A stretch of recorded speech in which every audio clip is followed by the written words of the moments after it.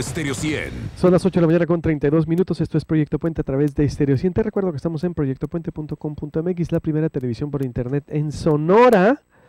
Hace cinco años iniciamos este viaje. Iniciamos este viaje que apenas está iniciando con la celebración de Proyecto Puente. Cristian Cruz, muchas gracias. Tantas felicitaciones. Ernesto Munro, Rafael Higuera, Lucía Torrero. Gracias a nuestra editora de Círculo, Judith, también Teresita León, gracias por tus palabras, Judith. Mavira, saludotes, Héctor León, Francisca García, bueno, a todos los que nos están eh, felicitando por el quinto aniversario de Proyecto Puente. Está ahorita François Hollande en vivo allá en eh, París, en el Parlamento, eh, y vamos a ver lo que está. Fíjese que está aquí el delegado de la SEP federal, él es Alfonso Carlos Merino González, doctor. Él estudió en Francia cuatro años el doctorado y estamos platicando ahorita de la transición del capitalismo al socialismo con François Mitterrand. A ver, hasta que nos, nos haga un análisis también de, de, de, de Francia, ¿por qué no? François Hollande, en vivo que realmente debemos desarrollar nuestra constitución. That the regular functioning of public uh, bodies be suspended, and then the president will determine orders depending upon the circumstances and distribute the constitutional powers accordingly. And then there's Article 36 of the Constitution, which talks about the state of siege. Well, it's not appropriate.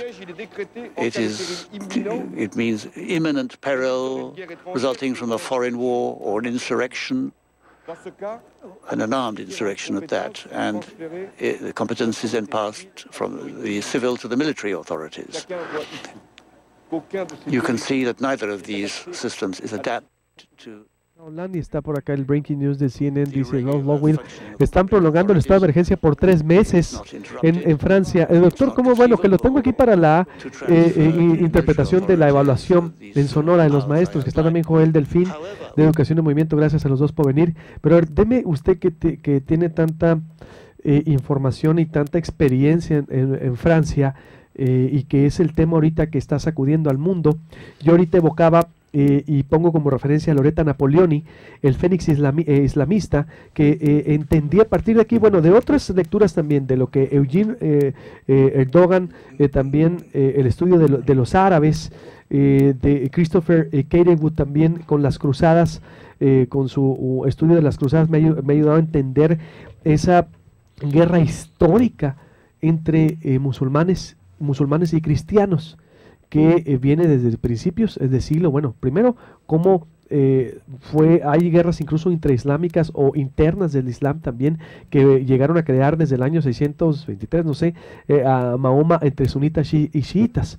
Los chiitas se consideran herederos del califato de Mahoma, los sunitas se consideran o son los que aprueban a través de un consenso popular la organización de un califato que ah, pasa o atraviesa, bueno, desde, la, desde, desde Mahoma, pasando por las cruzadas, las nueve cruzadas que hubo desde 1095, por ejemplo, que decretó un papa francés, por cierto, ¿no? Un papa francés que fue el que decretó la primera y que fueron los franceses, precisamente los que tuvieron a los musulmanes en el crecimiento que traían en, las cruzadas, pasando después por la conquista del Imperio Otomano, los turcos que conquistan a los árabes alrededor de ¿qué? 400, 500 años, que cae el Imperio Otomano eh, a principios de siglo con la Primera Guerra Mundial, 1914, cuando trazan ahí las grandes potencias, Francia e Inglaterra trazan territorios para Israel y Palestina, de ahí viene un conflicto, siendo un, breve, un brevario eh, histórico, eh, pasando después por o convertirse el salafismo salafismo es, eh, que es a la que pertenece el Estado Islámico, una corriente radical que empezó como una especie de admiración a Occidente que después se convirtió en un radicalismo contra Occidente para pasar en 2003 a la guerra, a la invasión de Estados Unidos en Irak, que destruyó eh, supuestamente Al Qaeda, pero no, nace de ahí el Estado Islámico y que viene a atacar a Francia bajo preceptos religiosos y sobre todo por la invasión que está en Siria. Yo hago esa referencia histórica. ¿Cuál sería su valoración, usted que conoce tanto a Francia? Pues muchas gracias. Primeramente, una felicitación por estos primeros cinco años. En verdad, eh, enhorabuena y ojalá sean los primeros de muchos más. Con favor de Dios.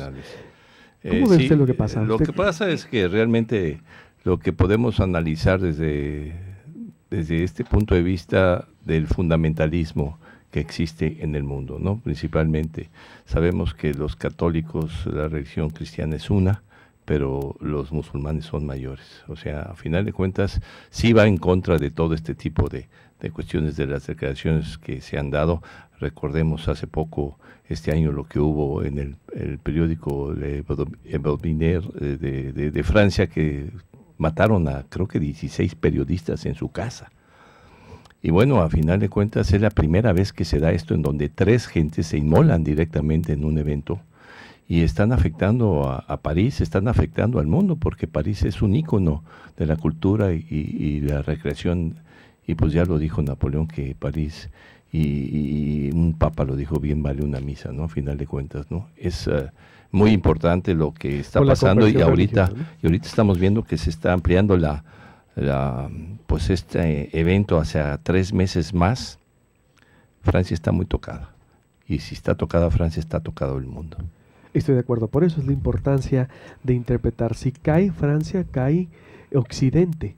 Es decir, y se trastoca Occidente, y somos parte nosotros de Occidente, queramos o no, digo, no a superpotencia, pero eh, eh, estamos aliados o nuestros intereses están eh, más cercanos a Estados Unidos. De hecho, eh, hay mucho, mucho que, que considerar porque nuestra parte de la Constitución viene también, lo, estábamos comentando con Voltaire, con Montesquieu, eh, la, nuestra Constitución viene mucho de la parte francesa.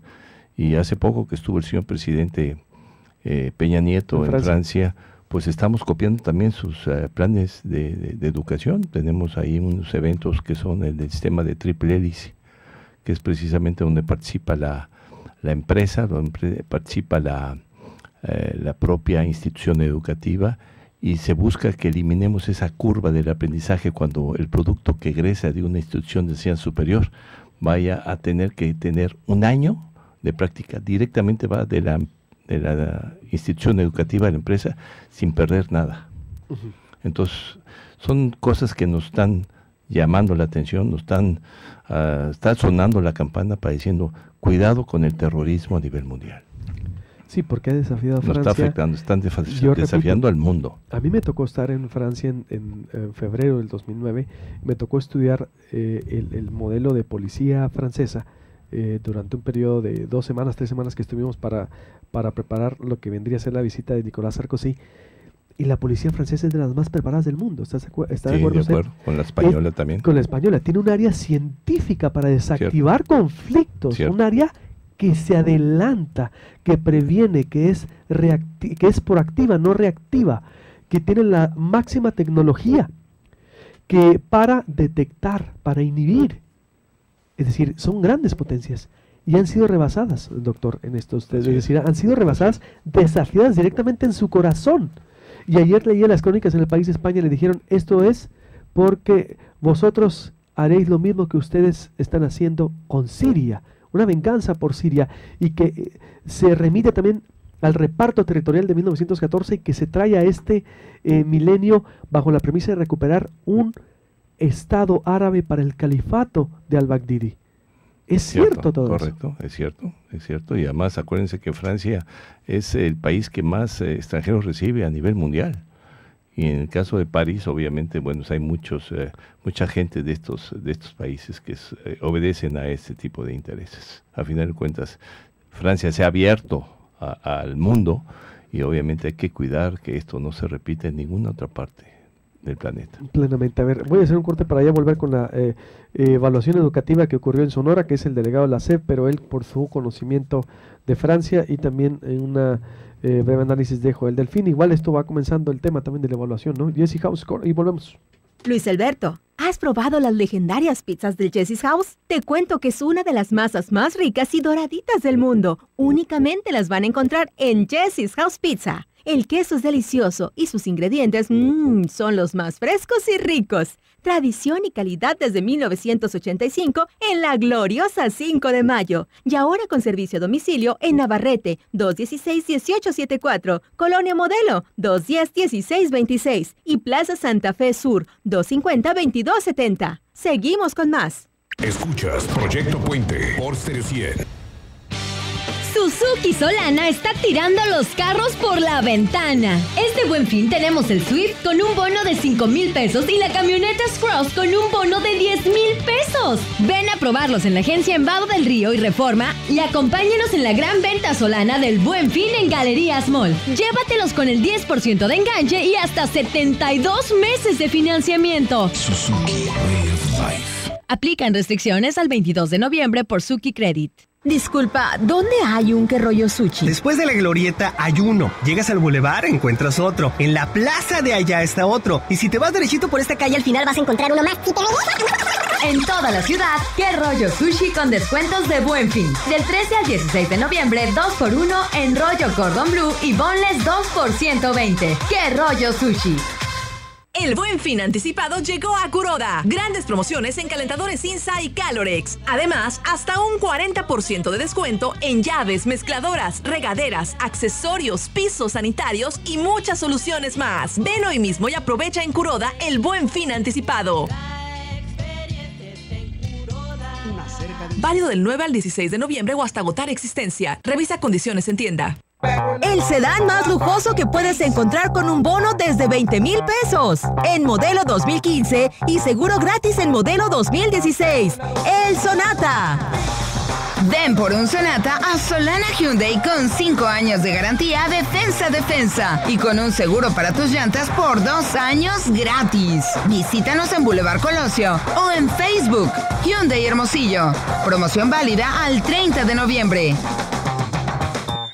Grupo Ayala toma el control y este buen fin, tu auto estrena llantas. En la compra de cuatro llantas Michelin y BF Goodrich recibe hasta dos mil pesos de descuento más un 25% de descuento adicional, así como lo oyes. Y para que no tengas pretexto, paga a 6 o 12 meses sin intereses con tarjetas participantes. Grupo Ayala, la mejor calidad, el mejor servicio y las mejores promociones con sucursales en todo el estado. Pregunta por tu sucursal más cercana 217 2194 y 210 30 para este buen fin de año, llévate el nuevo plan Telcel Max 4000, que incluye 4000 megas, 650 minutos, 800 mensajes, 6 números gratis y un smartphone sin costo. Todo esto para utilizar en México, Estados Unidos y Canadá. Además, redes sociales ilimitadas. Telcel Max 4000, por solo 449 pesos al mes. Para este buen fin de año, las mejores promociones con Telcel. Información en www.telcel.com. Se va y se corre con Solana Volkswagen. La dama, el Catrín, el borracho, el valiente, la sirena, el soldado. No importa quién seas, este buen fin puedes estrenar un Volkswagen de Solana. Ahora sí que estás de suerte. Jetta 2.0 2016 con mensualidad de 2.347 o llévate una camioneta Tiguan 2016 con un descuento de 38 mil pesos. Ven al Vado del Río y te autorizamos el crédito solo con tu IFE. Aplican restricciones al 30 de noviembre por Volkswagen Financial. No hay límites, no hay barreras, no hay imposibles. Cuando voy manejando a más de 300 kilómetros por hora, nunca he tenido miedo. Los jóvenes necesitan rescatar sus sueños. O sea, si tú te quieres superar, tú te puedes superar. Todas las oportunidades me las ha dado México. Es muy bonito mi país. Como México no hay dos. Seguro tú tienes una historia que contar. Compártela en Méxicohistoriasqueinspiran.mx y podrás ganar un increíble viaje a un destino de México. El tren de la salud regresa a Sonora para brindarle bienestar a la gente que más lo necesita a través de servicios de salud gratuitos. El doctor Vagón recorrerá durante todo noviembre los municipios de Frontera, Magdalena y Empalme Así, con acciones reales, Fundación Grupo México demuestra su noble compromiso en pro de la salud y bienestar de los sonorenses. Fundación Grupo México, Doctor Vagón, Ferromex. La nueva Equinox 2016 ya está en Chevrolet Solana Río. Ven a probar sus sensores y alertas de seguridad activa, cámara de visión trasera, sistema MyLink para que puedas ver la pantalla de tu smartphone en tu auto, sistema EquaSeat para el ahorro de combustible, entre muchos otros, accesorios. Tienes que verla. Cuidado porque te puedes enamorar. Chevrolet Solana Río en el Vado del Río. También la tendremos en el Buen Fin de Galerías Mall.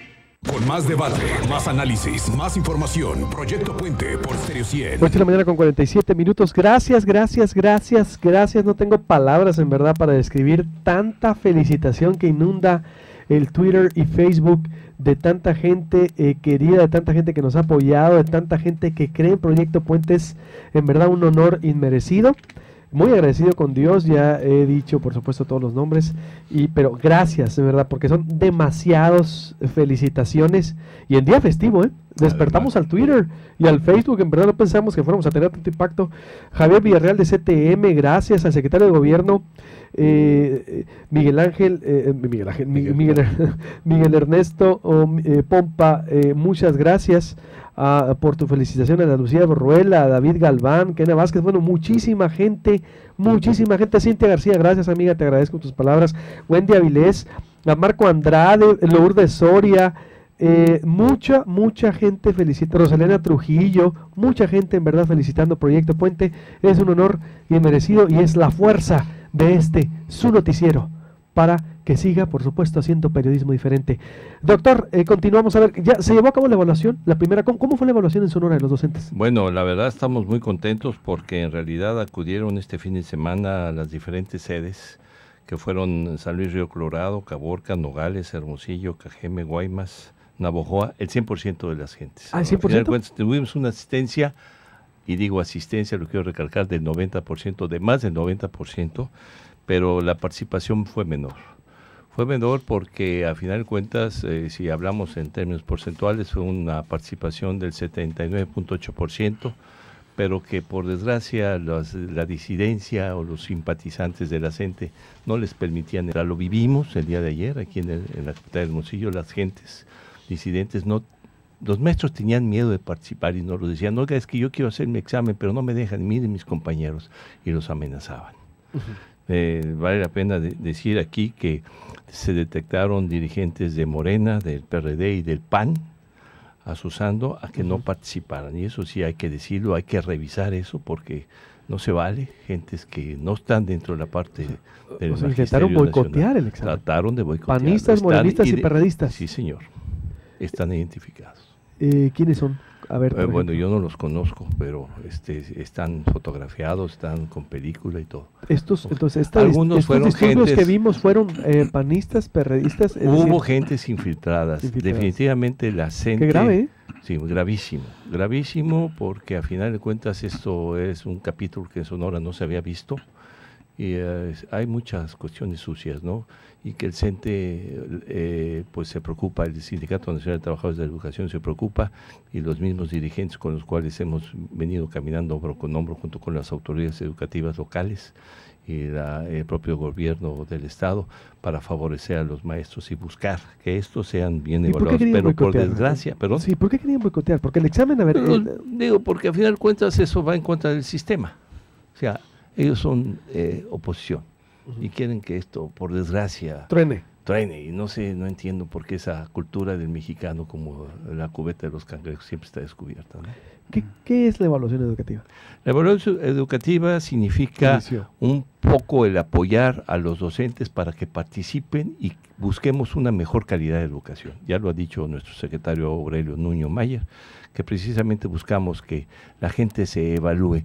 No podemos eh, lo, vamos, lo que no es medible, lo que no es evaluable no es medible. A final de cuentas, evaluación y capacitación van de la mano. La evaluación es precisamente para buscar que el docente tenga la oportunidad de participar, que se le mida y si no es viable o no pasa, se le capacite en una primera instancia. Y tiene tres oportunidades. La primera. La segunda, si vuelve a reprobar, se le vuelve a capacitar y vamos de la mano con él para una tercera oportunidad. Si en la tercera oportunidad definitivamente no pasa, se le retira como docente, no pierde su empleo, lo quiero eh, enfatizar. enfatizar, subrayar, no pierde el empleo y se le pasa a un área administrativa. Pero el docente nunca va a perder su empleo. ¿Cuáles eh, las desventajas que ven ustedes, Joel Delfín? Yo no veo nada malo tampoco en una evaluación, pero hay una parte del magisterio que no está de acuerdo con estos criterios.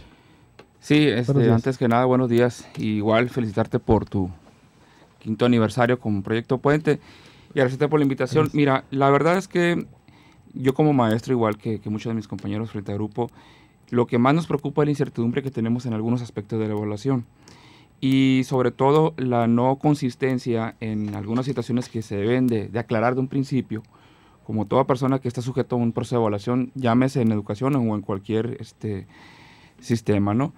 Eh, te voy a dar algunos ejemplos, por, por, decir algo, se nos informó que iban a ser 120 reactivos para un examen, que así lo marca un documento que se llama Etapas, Aspectos del Proceso de Evaluación del Desempeño, y a la hora de presentar el examen son 154 reactivos. Y tenemos un incremento del 30% de preguntas. Y son preguntas que llevan un nivel de complejidad elevado porque son casos situacionales que tienes que revisar a conciencia.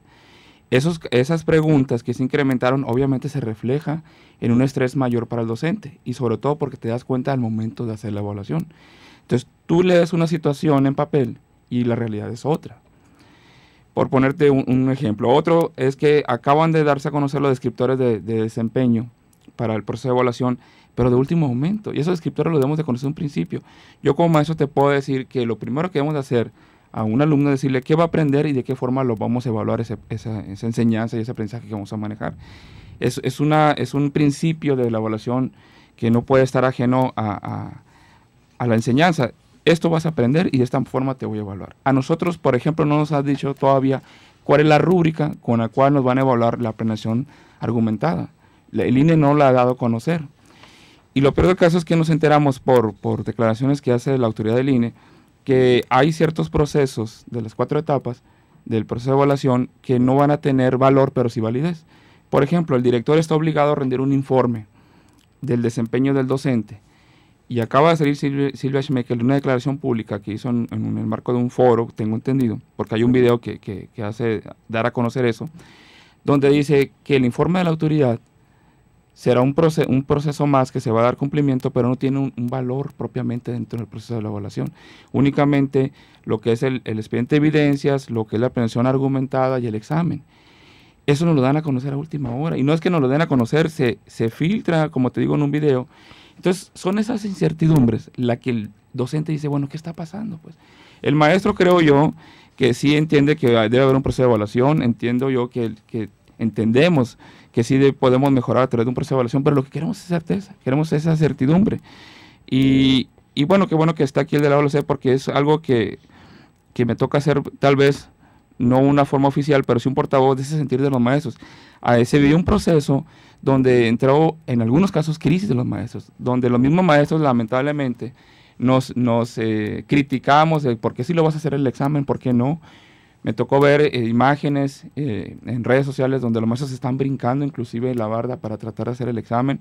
La verdad creo que el docente no se merece eso, se merece una situación de respeto, una situación de, de, confianza, de cordialidad que debe haber por parte de, de la autoridad. Yo creo que la autoridad debe garantizar todavía más que las condiciones estén eh, a favor del maestro, porque se dan unos enfrentamientos verbales con, la misma policía, por ejemplo, que estaba vigilando ahí. Y, entiendo que cada uno tiene su rol y debe hacer su, función, pero sí es delicado que se nos enfrente a los maestros y que nosotros mismos callamos en en una acusación de dimes y diretes. Y, realmente es preocupante, como te digo, ver maestros que se brincan la barda, que se meten por un hoyo para tratar de hacer el examen y adentro también son hostigados y por fuera también. Entonces, nosotros mismos tenemos también esa división, estamos en una, división que, no es bueno. ¿Cómo ve, delegado, esta, esta preocupación del sector? Sí, en realidad eh, hay muchas propuestas que consideramos que son sensatas, que se están haciendo precisamente. Hay evaluaciones, evaluaciones que buscamos que sean contextualizadas. ¿Qué quiere decir contextualizadas? Y precisamente fue una de las propuestas que hizo la gente, que fue escuchada y que fue elevado y, y que de alguna forma en el artículo 68 de la ley del servicio profesional docente nos dice que debemos tomar en cuenta la parte regional y la parte de los contextos culturales. Eh, vamos a hacer eco de esto y lo vamos a comentar eh, a nivel nacional, sobre todo allá con Silvia. Sí, porque eh, son reactivos, es decir, son criterios que aparecieron de última hora. Pues, sí, vamos a escuchar. Como vemos, el magisterio sí está abierto a, ser evaluado, pero bajo la transparencia. Así es. ¿Cuándo tendremos los resultados de la evaluación? Los vamos a tener el próximo año, a final de cuentas, vamos a terminar eh, en el 13 de diciembre todas las evaluaciones y se van a hacer todo el proceso. Yo creo que a, partir del próximo año tendremos. Eh, en febrero vamos a tener este eh, otro tipo de evaluaciones también. Pero el próximo año yo creo que por febrero vamos a tener. ¿Cuántos maestros fueron evaluados en Sonora? El- fueron, en esta ocasión fueron mil, eh, déjeme comentarle, 1104 maestros evaluados. ¿De un mundo de? De un mundo de 3000 en este primer eh, fin de semana.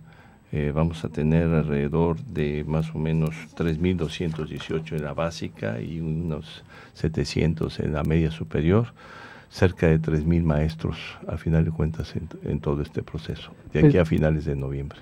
Pese al intento de boicot de, de los partidos, entonces todo está bajo control.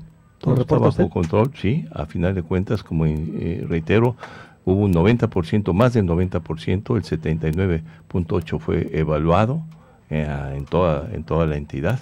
Todas las sedes fueron abiertas al 100% y bueno, vamos a, a ver, salvo algunas que bajó, pero a final de cuentas hay que reiterar que es un capítulo en el cual Sonora no está previsto que pasara lo que pasó, pero yo creo que es muy importante reiterar que está preocupado los tres niveles de gobierno en este tipo de cuestiones de la educación.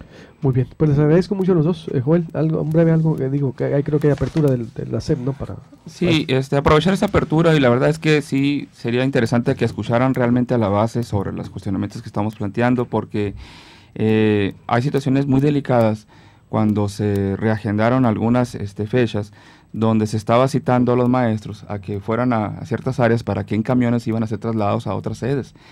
Y se les decía, porque hay, hay este, evidencia de eso, que iban a ser trasladados a otras sedes y que no iban a poder llevar ni, ni celular ni nada para poder pues tener así una situación más controlada en cuanto al acceso a, la- a la evaluación, ¿no? Entonces, son situaciones que ahí están publicadas en redes sociales y que son delicadas porque obviamente como maestro, si te dicen te voy a trasladar a otro lugar y no puedes llevar ni avisar a dónde vas por cuidar la sede, pues entras en un estado de, de- de preocupación y dices, bueno, ¿a dónde me van a llevar y por qué se trata, de qué se trata esto? ¿no? Inclusive muchos se negaban a esa situación. Fueron, fueron convocados por, por este, la estructura educativa porque obviamente así recibieron la instrucción, pero eso es algo delicado. ¿no? Bueno, yo nada más quiero comentar esto de no llevar los, los celulares, es eh, parte del reglamento. No es que no los lleven. En el momento del examen no se les permite tener los celulares abiertos, eh, ni siquiera en modo de vibración, nada. Se les retira y los pone en otro lado. Al final, eso es una evaluación. Y esto del cambiar eh, y la estrategia del movimiento fue precisamente una logística de estrategia. Y pues, teníamos sedes alternas, ¿no? Como todo. Muy bien, pues ahí está, les agradezco mucho a los dos en verdad y estaremos dándole seguimiento. Buenos días. Luis, muchas gracias. Gracias. Y vaya, la, bueno, la carne asada más grande del mundo. Hoy a las 11 inicia, hay que apoyar con todo a los organizadores. Mañana le tendremos el resumen. Bendita Patria y, eh, bueno, primero Bendita Patria, que me le quería un cafecito. Esta mañana está como para un café muy contemporáneo, un café de bendita patria. Además lo puedes